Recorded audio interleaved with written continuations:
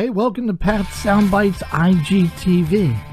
Keeping new music alive is what I do on the radio and now on video. Conducting live chats with the artists and learning the stories behind their latest release and also playing their new video. Special thanks today to my sponsor GoGo Tuners for all guitar players looking for a focus on ease of use, readability, durability, and accuracy look no further. The Go-Go Tuner is the choice of many touring professionals and a favorite of casual players. Go-Go's signature green you're in and red you're out screen makes tuning quick and easy. For more information, go to the website at gogotuners.com.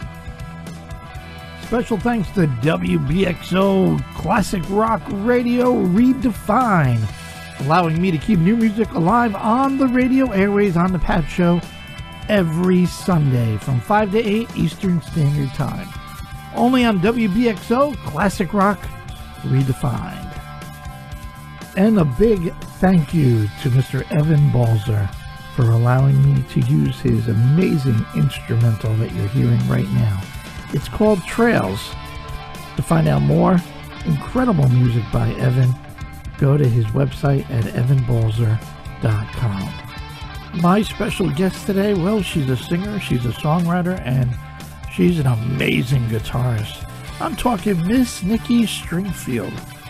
She rocks with the all-female band The Iron Maidens. She rocks with the band Heaven Below, and she also rocks this killer EP she released back in October 2019. How about Harmonies for the Haunted. I've been playing When the Devil Comes Down, Haunted, and Straight Through the Heart. We're going to talk to Nikki about her career, playing in all these rockin' bands. We're going to talk about this killer EP. We're going to play the video When the Devil Comes Down, and a whole lot more right here on Pat Soundbytes IGTV.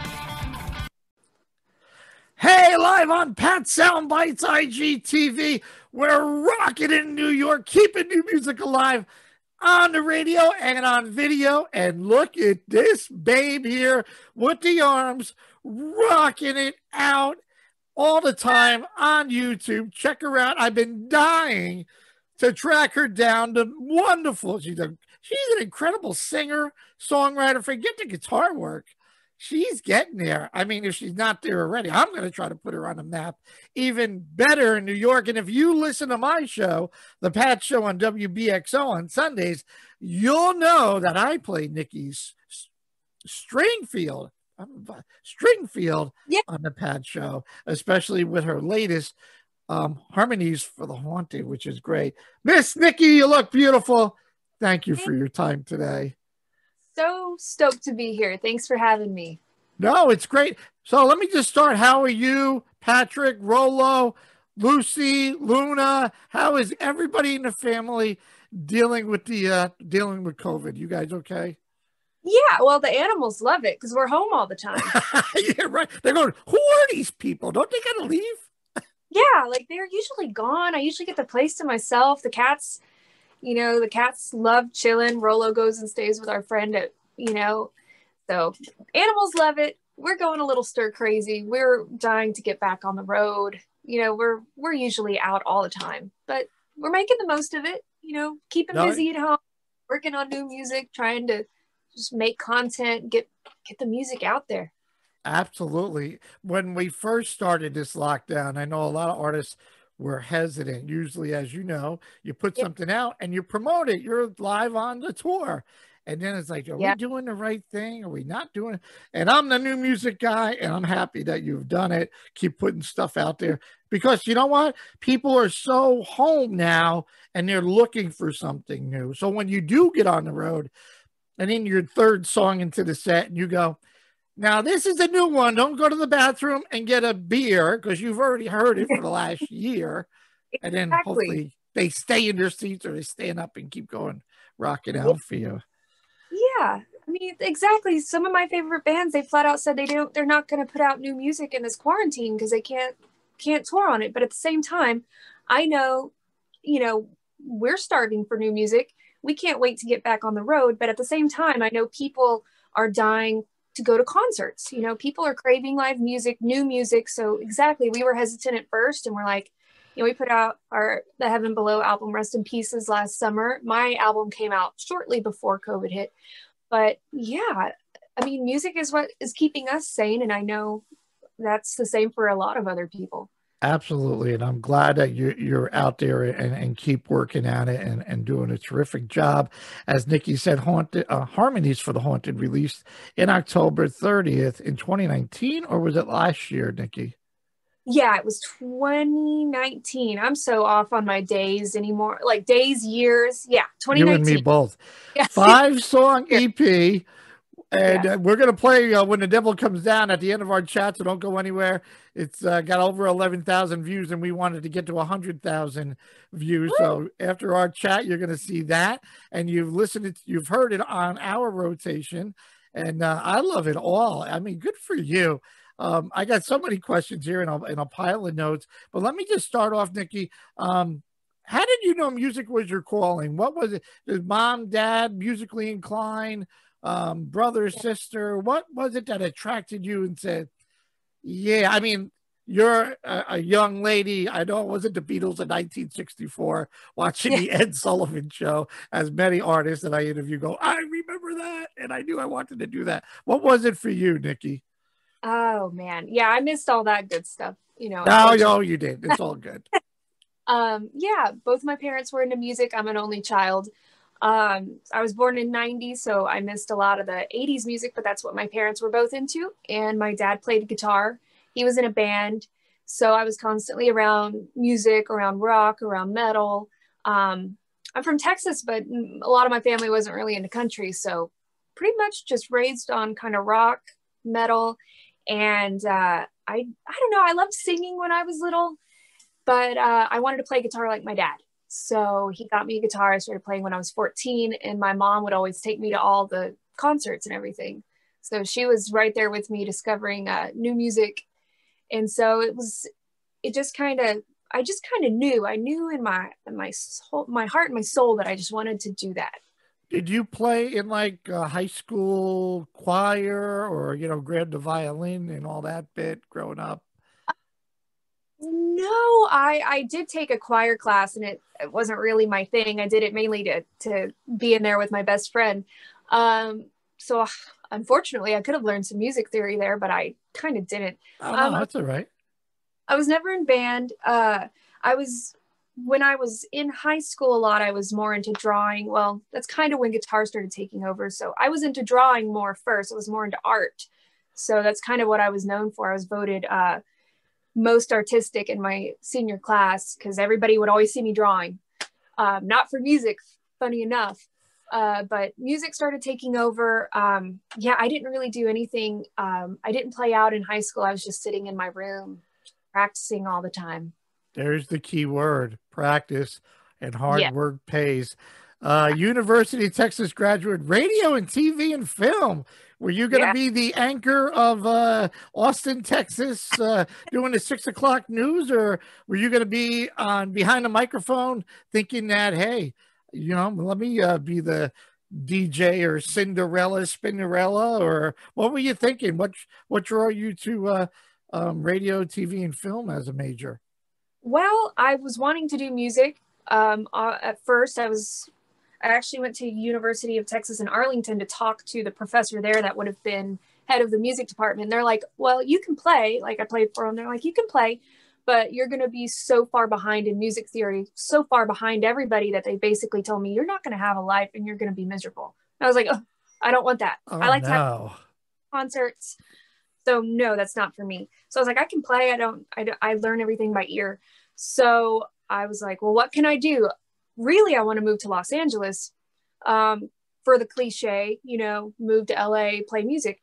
And I didn't have anybody to play with in in my hometown of Red Oak. It's tiny. There's really I had a couple of musician friends, but I didn't jam with anybody. So I decided to move to Austin and go to University of Texas because it's the live music capital of the world. But I didn't have anybody to jam with there either. So I thought radio, TV, and film would be kind of the closest thing to what I love. I love movies too, and I love the production aspect of everything.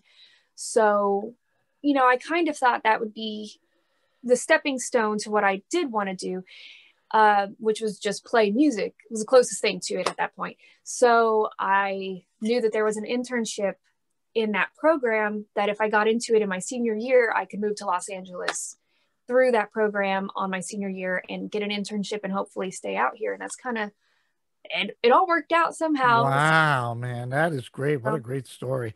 And a lot of people, you know, you got to take the risk. And I'm sure you were going, I know this is what I want to do. Do I want to leave mom and dad home? But um, they're doing well. I got to do this. And, you know, yeah. everybody goes, you know, they have that deer in the headlights. I'm in LA looking around going, all right, I found an apartment. I don't know anybody here, yeah. you know, except for your internship. And yeah. um, how did um, I know your guitar company, or not your guitar company, but sh- I'm, and I'm not going to say it wrong. Schecter. There was Got a time, right? Did I say it right? There yeah. was something to do with Schecter, and then that really opened the doors for a lot. And you got your. We'll talk about your signature signature guitar in a minute, but that kind of opened the doors for everything. Yeah, um, yeah, like you said, I didn't know anybody. I was kind of the, I was like the kind of quiet, you know, goth girl that would always sit in my room and play. Um, so I had been uploading videos to YouTube of me playing and everything. And so through my internship, I went to the NAMM Music Festival and yep. I met Betty kind of at Schecter there. And I made friends with them, hung out with them every day. And that's kind of how I made all of my connections. Um, got over my fear of just you know, just kind of being the shy. I was like, you can't be shy. You know, you got to get out there and, and do it. So I met everybody, and then they sent me home with a few guitars and let me choose one of them. And then uh, they offered me a job as a receptionist there to kind of help me stay because I, I was there. My internship was like five, six months. So I was finishing college, doing the internship, and I had joined the Iron Maidens and my other band, my original band at the time Before the Mourning. So I, my world was crazy.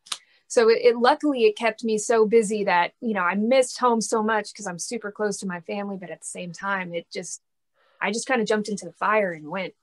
good things have... happen to good people, boy. Yeah. Timing and being at that desk, I'm sure there's other musicians that come in and go, and who are you? And what are you doing? And we're yeah. looking for somebody. And how did the Iron Maidens come along? I mean, you knew one of the girls. Did she come in and say, "Hey, we're looking for a guitarist," or they put an ad up in the store? Or yeah, it was another one of those things where it just all kind of fell to like fell together. Um, so I had met. I forget. I think I met them at NAMM, A couple of the guys in the band that I joined Before the Mourning, and through them, they were good friends with Courtney and Nita, the two guitar players at the time so i we all you know just everybody it's so crazy because it's it is such a small world here like kind of everybody knows everybody kind of thing and i kind of got thrown into that world of of all these musicians and um so i was just hanging out with them one night and at the time the dave murray position that i jumped into was kind of a revolving door. It had two two guitar players at the time nita strauss and Nili Brosh and they were kind of rotating and taking turns playing um, playing the shows. So they kind of threw me into that too, because they both had their own solo kind of stuff going on. So I just, they were like, oh, you want to come play this, this show with us? It's like, sure, I love Iron Maiden. I grew up on that. So yeah, just, I started playing shows and it just kind of turned into a full-time thing. Uh, and again, hard work pays, right? You mentioned, you know, I maybe it works out really good down in Red Oaks where you're from that there was nothing to gravitate to that forced you in the room and just learn by ear and play, play, play. And, you know, you took the risk. You went to LA and timing and networking. As you said, everybody seems to know everybody out there. Hey, I need a, I need somebody to do a riff. And oh yeah, I got somebody and boom, you know, it's like a done deal. It's crazy. I was wanting to go to NAMM so bad. I did no NAMM show. I'm like, Maybe I, I want to go to Nashville, but then they said Nashville's nice, but it's not Anaheim where you get to see everybody. But I, it's on my to do list. It'll happen. I'll get out there. Oh, you have. Well, that's a great much. story. Um, what, what's your favorite uh, Maiden song to play? You know, it it changes honestly depending on the set list. Like, I like to if we've been playing, we change our set list a lot. Um, so if we've been playing a certain song for so long that I'm like, oh, you know, I can't wait to play a different song. Right. But overall, I love Powerslave and I love uh, the Clairvoyant. I love oh, Dave. Yeah. That one very it's it's a lot of fun to play. So probably those two, couple of my favorites. They like I said, they change over time. Or if we usually learn a new song and put that in, that's my new favorite because it's something Yeah. new. Yeah, I mean, look, it, it is the money maker, right? It, it's your bread, your meat and potatoes, and the, your band. You guys do a great job, and, and it's a show. It's it's a performance, and it's a show. It's not like, I mean, if anybody's never seen Iron Maiden, the band, oh my goodness! So you guys have big shoes to fill, and you do an outstanding job. But as I ask other artists that are in other bands like that, it could get complacent and you're like, okay, are we coming out with a new album? Can we do something? And then you say, okay, I got, I gotta, I just gotta do it. And I'm sure the other girls do it as well. Every, everybody does it. You have to because you want to try something different. Right. Yeah. Like, um, yeah, that's why I was like, I have to do my own music. I have to keep busy doing other stuff because while I do love Iron Maiden, you know, it's, I gotta, I gotta take it elsewhere. Right. you There's, know? there's, there's something inside going, no, I gotta, I want, I gotta do my, I want to try it, at least try it. And strangely enough, you know, we, I kind of research and really prepare, and you know, everybody relates to you as a an amazing guitarist, but nobody really talks about the singer in you. And Yeah, that's you know, of- it's like it's you're starting to really get out there, and, and I know you're working on that skill, and it shows. I mean, it's great. I'm like, wow. So good for you. I I love it. Right, So talk to me about these five. Well, we we can even talk about um, As Chaos Consumes. Um, where do you find the inspiration from? Uh, obviously, life lessons, you know, broken relationships like everybody else, or Yeah. things that come to your mind. Does it start with the lyric? Does it start with an, a guitar riff? How does how does songwriting process work for you, Nikki? Um, well, it's kind of different for each one. I guess for as chaos consumes, that was really my first song that I had written ever. Um, so that I think I was watching The Walking Dead or something, and so I had this apocalyptic, thing in my mind. I'm like, I'm just gonna start writing these lyrics, and then I think that the lyrics came in my head first for that song and the chorus melody, and I kind of heard that, and then I wrote the rest of the song around it. Um, like it's usually I hear the chorus in the melody and the lyrics first. So that's that kind of right there took away me wanting to do instrumental music. I'm like, I always hear vocals. I always hear, you know, I always get the lyrics and stuff going in my head. And it usually falls in place around that. Sometimes I'll hear a riff first. Like I think when the devil comes down, I heard that I was sitting on a plane getting ready to take off and I just heard this all in my head. And I'm like, I just started writing it all down on my phone. I heard the riff, I heard everything. And then when I, where I went, I'm like, uh, give me a guitar. I got to get this out of my head right now. And so that whole song was written on a, in my head on a plane. It was, you know, pretty crazy. So yeah, I, I think straight through the heart kind of came from me watching Vikings. A lot of stuff comes from TV or, or movies that I'm watching, or like I said, any kind of relationships usually pour Right. out really. Well, So- things that you know, you want things that uh, that are um, you know fresh in your mind, part of your Yeah. life growing up. That you know, take me, unbroken, haunted. You know, wherever it goes, it goes. But uh, um, no, I think it's great that you even did an EP. I mean, sometimes less and simple is easier than pulling your hair out, going, "All right, Patrick, we need another five more songs." Not that you don't have it, Yeah. but maybe let me go at it smaller, easy, get my name out there and, and see where we go. Was that the thought for the most part?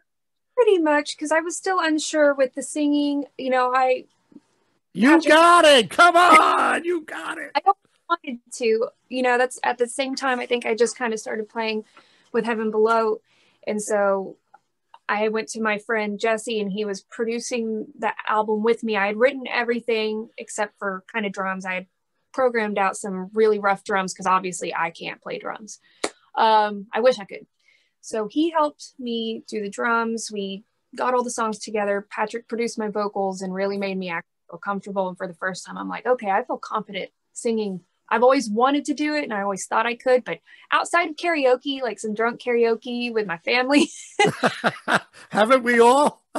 I've never been told like, God, you can, you're a good singer only a couple times. So I was like, yeah, I'm just going to do it and put it out there and see what people think. Do five songs. I don't want to keep waiting anymore. Along with, you know, we're on the road a lot you know, trying to get three people's schedules together to get this thing going was hard enough with people on tour, people being busy doing other projects. So I was like, five songs is enough. Let's just get this out, see how it goes. Good for and you. So, and, and, we want a, I want a Nikki's. Well, you, you and Patrick are going to do double duty, triple duty, baby. Nikki opens up, and then it's Heaven Below, and then it's Lita Ford. That yeah. would be incredible. Right? Wouldn't it? You're there. You got Pat. He's playing with Lita. It just and then you could top it off with an Alice Cooper. I mean, I was looking forward to Lita, uh, Tesla, my man uh, Frank Hannon, and all those guys. And I know the Alice Cooper gang really well, and Nita, Nita Strauss, Hurricane Nita Strauss. Um, yeah, yeah, those guys. That would be it. Yeah, it would be cool to bundle you guys up with uh with somebody. I got my Judas Priest uh Glenn uh, Tipton shirt on. For, um, I bought the shirt to support his uh Parkinson's uh foundation. So uh love uh love love love Judas Priest. So that's cool.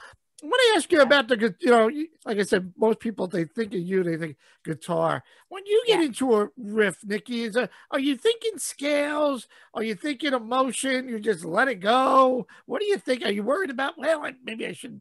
I missed the note here. Or you just let the fingers and the brain take over and just let the emotion come out? Yeah, it was like uh, we were just saying earlier. We were going over one of my songs, "Divine Intervention" for acoustic, and there's that little riff it's like once you start thinking about it, that's when it all goes wrong. Because I can play it, and the minute I start thinking about it, done.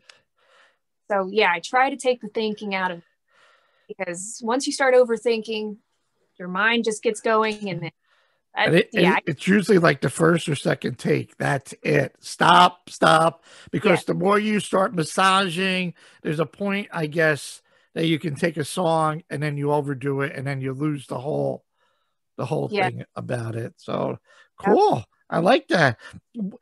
Tell, describe me your tone. What's your, how would you describe your tone? Your fingers, your tone that comes out of that Schecter guitar. Well, I use a Kemper too, so that that's magical. You know, you have like every tone imaginable with that. Um, for my tone, for the maiden stuff, I try to get pretty close to Murray, but also I like to keep a bit of myself in it. You know, I, I like a lot of heavier music. So it's really a blend of kind of heavy with kind of the 80s metal.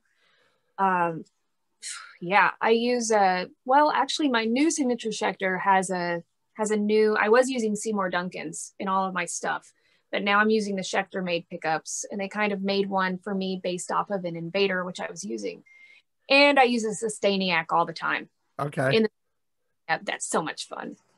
Oh yeah. I'm not a I'm not a musician or a guitar player. I should be. I should try. In fact, everybody that tells me Fender and Gibson have sold out of guitars during the whole COVID, which is a great. I I love to hear that that there's a new generation of people taking advantage of this time and really yeah. taking taking advantage of the music, which is um, great. Uh, what was I just talking about? Uh, tone guitar. Yeah, a lot of my fans are asking, um, you know, can you add ask more gear questions? So that's where I'm oh. coming from. You know, so tell me about this signature guitar. Is it available? Can somebody buy one? Yeah. I mean, what were you thinking? Were you pinching yourself, going, "Really? I I got a signature guitar." Like me? You yeah, want like, me? What? What? talk about dream come true since I was 14, you know. I mean, I was like, are you really? Yeah, this is actually I'm on my second one, so I've got to design. Congratulations. Thank you. I know I was like, I get to do do another one? Really? Um, I was like, I don't know how you top the first one. uh, so yeah, they kind of, you know, came at me with that. First, they kind of they were like, let's just make you a guitar. So I was like, okay. And they already knew what I liked a lot. So they kind of designed one for me and it was, I, they just asked, you know, what color do you want? I said, green. So they kind of made me one. And I think a lot of people liked that one. So after that, they're like, all right, let's make a signature model.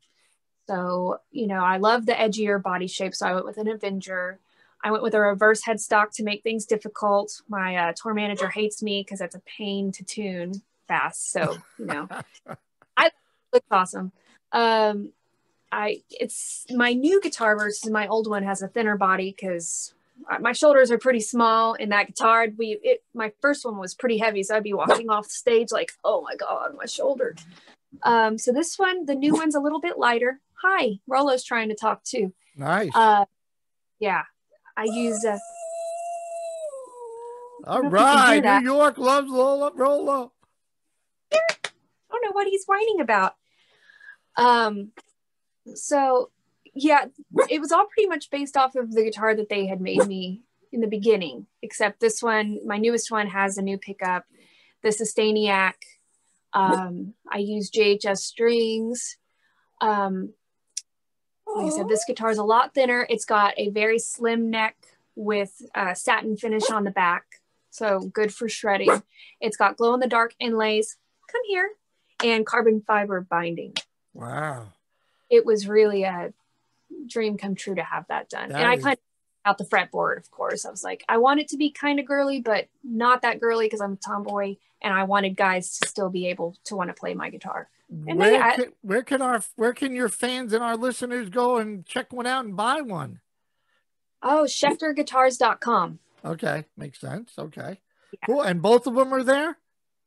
I believe the first one has been discontinued so that the second one is up now. Okay. I, gotcha. I, I, believe they might have some. You might be able to still get the the first one's red, the second one's purple.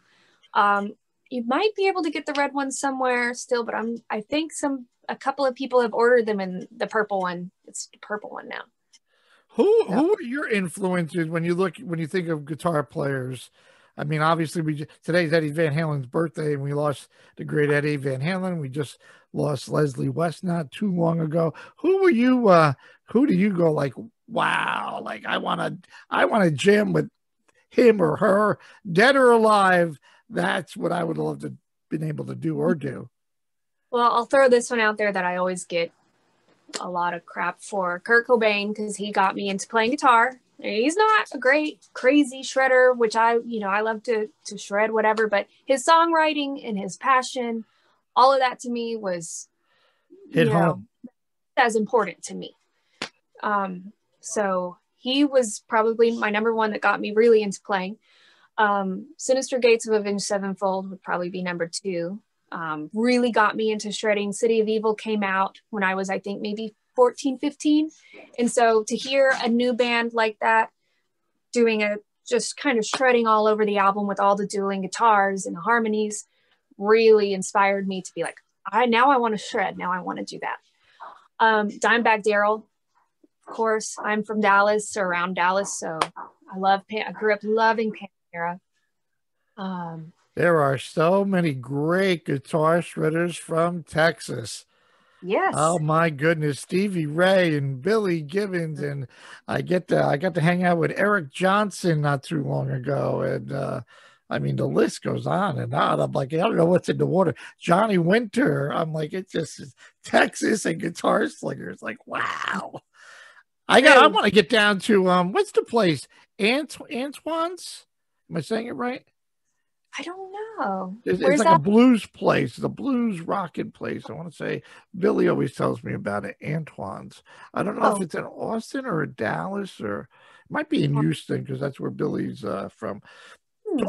So uh, do, we, do we have a follow up to uh, Harmonies? Uh, uh, Harmonies uh, for the Haunted. I'm working on a full length. Yes, so the full length is coming. Hopefully. You singing? You playing the instruments? You doing? Yep, I'll probably. You know, I'm I'm wanting to maybe have some friends come and do some stuff on this album too. Maybe some solos and maybe have Patrick on there. You know, maybe do like a have him sing some too. Change things up again a bit because I wanted for the first one I wanted to be able to prove myself and kind of be like I did everything on this album except for drums. played bass, played everything. It was 100% me. And so now with this one, I'm like, all right, now let's have some fun with it and and see what we can do. Bring so in. you look back and said, I did it, and I you feel good about it, and the reviews are going good.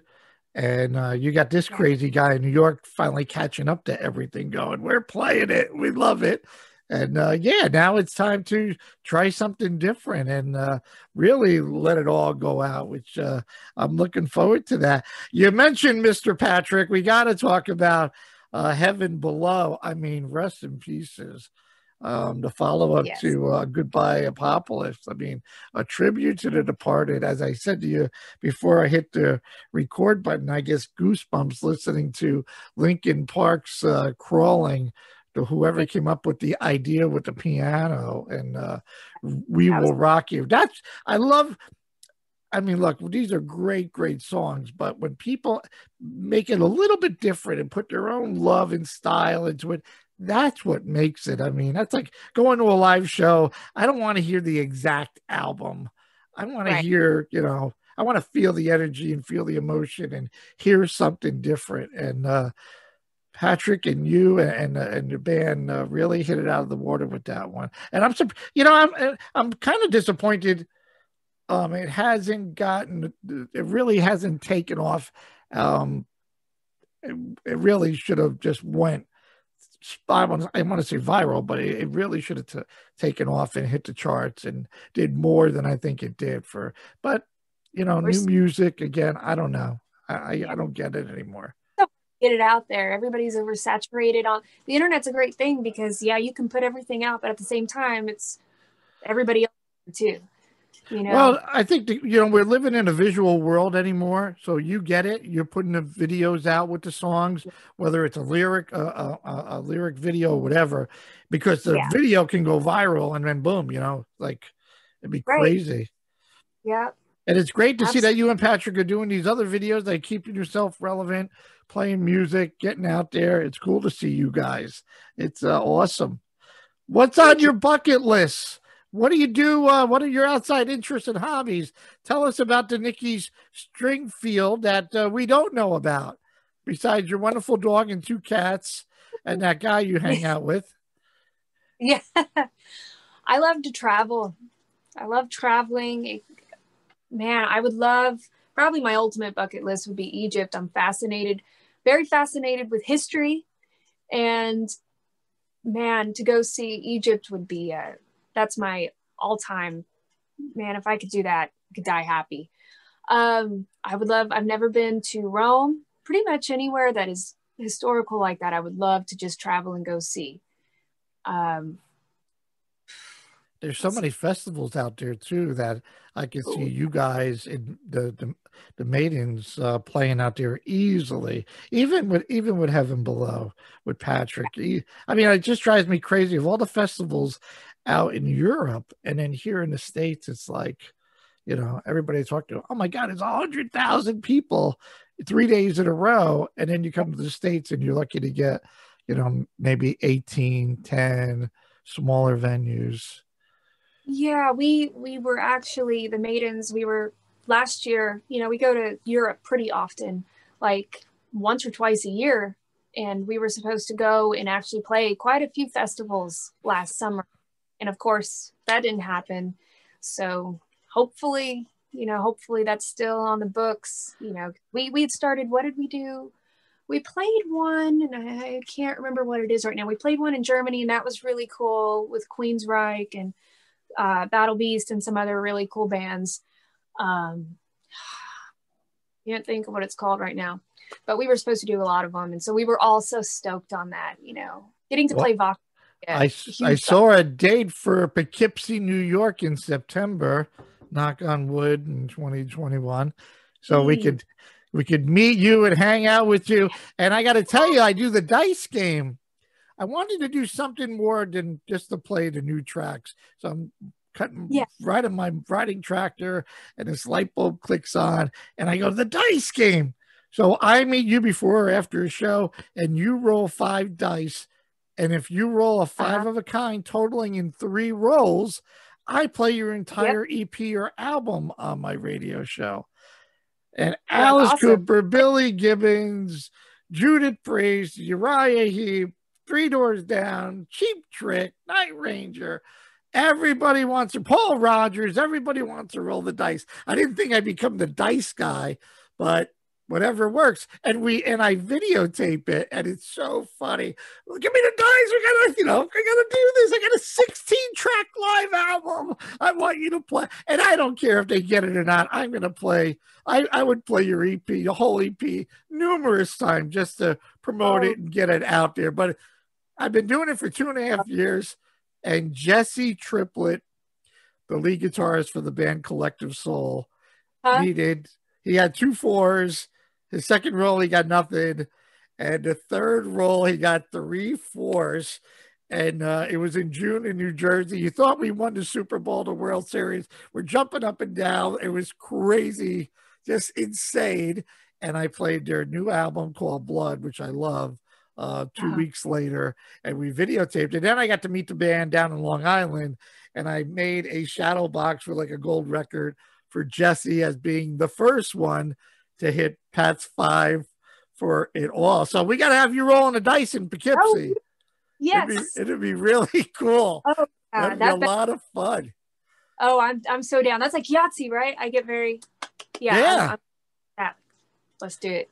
So where can our fans buy um haunted and your I know there's bundles out there and I don't know. I was on your website the other day and it said the t-shirts are all sold out. What do we what do we need to do to get a Nikki t-shirt and a CD and a guitar pick?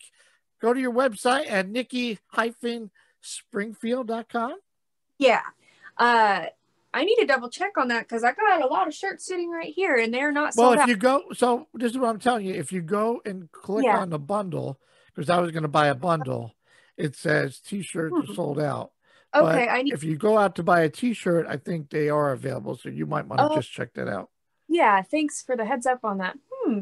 Um yeah, I've got I've got guitar pick packs, I've got several shirts. The bundle has kind of everything, a CD, a poster, little little extra things, guitar picks. Um yeah, you can get it all on nikki-stringfield.com and uh you can listen to it, you can download or just stream it basically anywhere. Like Spotify, Apple Music, Amazon Music, it's it's everywhere. You listen Yeah. to my podcast and then you track on to her tracks. She's on. YouTube. Hit the subscribe button. She's on Facebook. She's on Instagram. You can follow the dog. You can follow Patrick. You can follow Heaven Below. Support these great, great, hardworking musicians. Nikki, I hope you enjoyed the conversation as much as I have. That I haven't driven, dri- driving, driven you crazy. Not at all. Enjoyed it. Cool. Well, it's time to rock a little Nikki's. I can't, man, spring, spring, Stringfield, Stringfield on the Pat Show with a little When the Devil Comes Down right here on Pat's IGTV.